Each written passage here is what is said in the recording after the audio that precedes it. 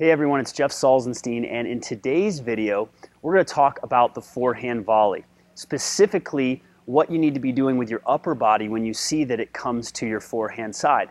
Now, there are a lot of misconceptions out there. I've heard it over and over again from various players and even coaches. They talk about turning the shoulders on the volley when they see that the ball comes, like this extreme turn like this. And um, I've even heard this term like feel like you have handcuffs with your your hands here. So I'm here to tell you that that is the wrong way of doing things. So if you've seen any videos or if you worked with any coaches that tell you to turn like this, you're doing it incorrectly. You can continue to do it that way, but you just won't be volleying like guys like Roger Federer, Patrick Rafter, and all, basically all the great volleyers on tour that play now and that played in the past. So what you want to do, and I'll give you a quick shadow stroke version, what you want to do is you want to focus on keeping your hips and your shoulders facing the net more. So when you get ready to hit the volley or when you see the ball is coming, feel like this offhand comes out in this direction more and your shoulders are going to face the net more. So you don't want to get turned like this. You do want to make this move right here. The arm will come across a little bit, but you just want to feel like your shoulders are facing the net more. If it goes any more than a 45 degree angle, you're in big trouble. So I've got a student with us today. Jordan, come on in.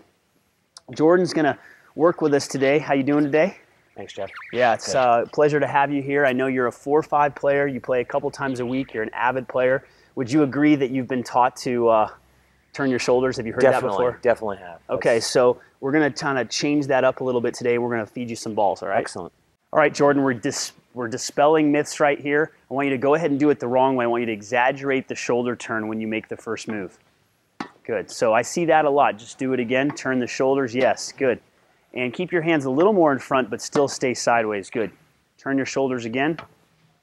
Excellent. Okay, so that's the wrong way of doing it. Now we're going to do it the right way. I want you to focus on keeping your shoulders facing the net as much as you can. Almost feel like you're open. You're not turning at all.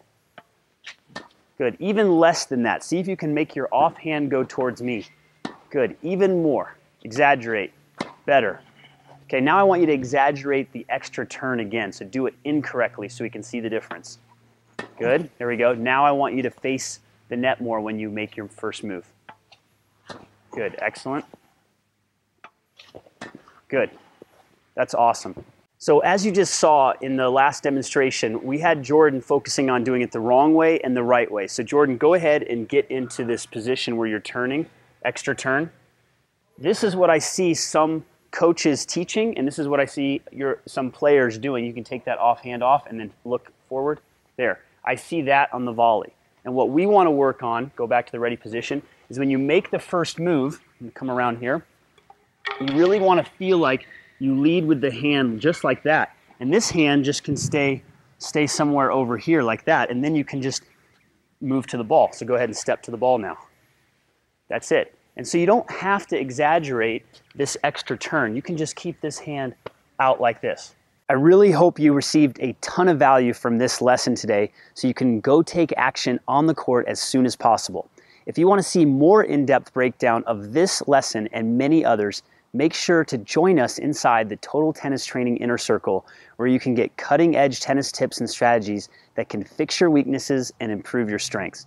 If you want to be a part of our growing online tennis community and get the best tennis lessons on the planet, go ahead and click the link below and we'll help you go to the next level with your tennis. I'm really excited to help you out and thanks for taking the time to watch this lesson today.